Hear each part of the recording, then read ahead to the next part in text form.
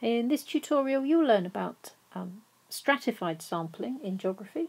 Sampling is a way of best representing a parent population. Um, you cannot sample every part of a parent population, um, you don't have time.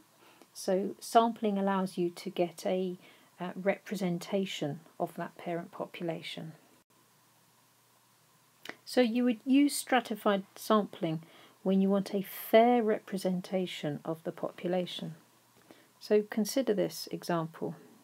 Here you have a population of 12 people and uh, the white people up here are the young people. Um, then you have the um, group of people who are um, middle in age and then you have elderly people here. Um, let's say you can't access all 12 people so you want a fair representation from each group.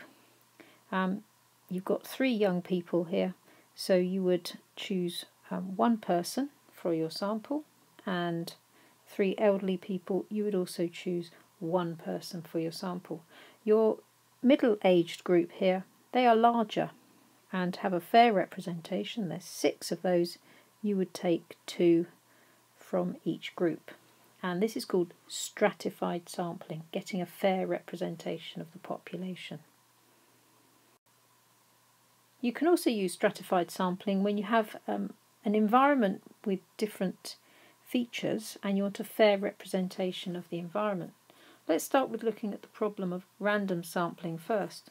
If you were to do random sampling um, in this area here, wet areas and dry areas, um, you may end up, through random sampling, only sampling these places here.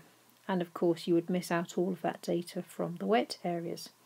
So we use stratified sampling instead.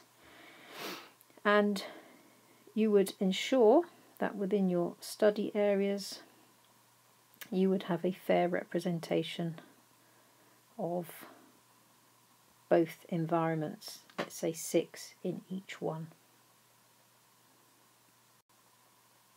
And in this final example, um, we use stratified sampling when the environment changes. Um, in this case, the geology has changed along this river, which is running from A to B. And it would be unwise just to collect your data in the chalk geology or the clay. You want a even representation of all three areas. So let's say you do two sample points in chalk and the shale is the longest part so let's say six there and clay um, slightly shorter so three there and this should hopefully give you a better representation of all three areas. Stratified sampling works best when you've got categories of data.